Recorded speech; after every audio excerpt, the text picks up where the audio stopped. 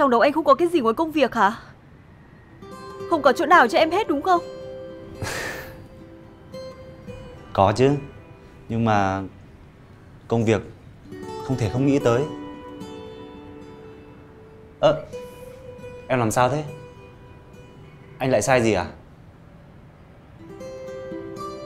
Không có sai gì hết. Ngoài việc Việc gì khô như ngói ấy.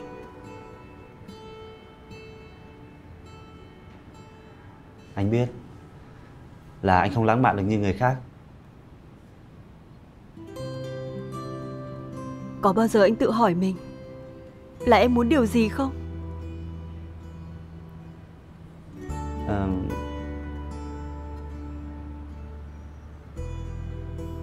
Con gái bọn em phức tạp lắm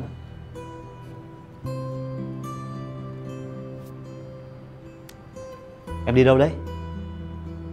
Em đi ngủ. Ngày mai còn vào viện sớm. Ờ. Ờ.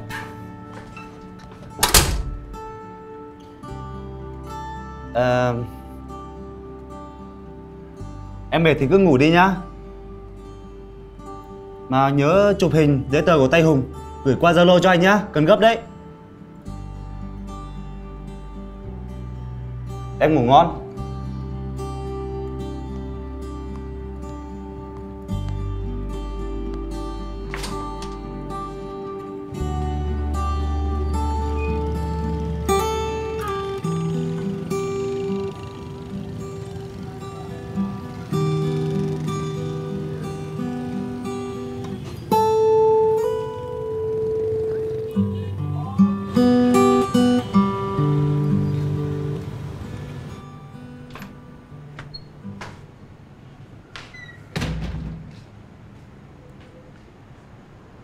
Ủa?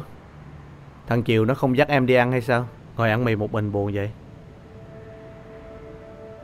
Nó đâu rồi? Anh ở trong phòng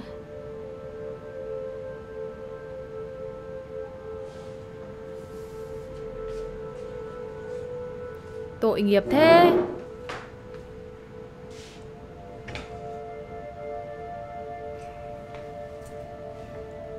Hai đứa lại giận nhau nữa à Dạ không có gì. Không có gì. Nhìn cái mặt em là anh biết liền. Có chuyện gì nữa anh nghe coi. Không có gì thật mà. Anh ấy lo công việc Làm sao mà em giận được?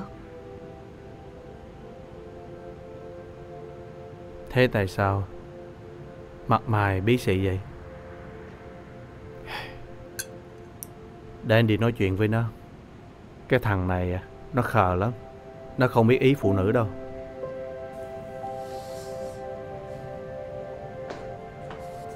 Chiều á chiều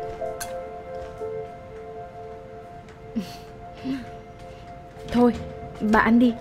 Tôi vào trong trước nhá. Ừ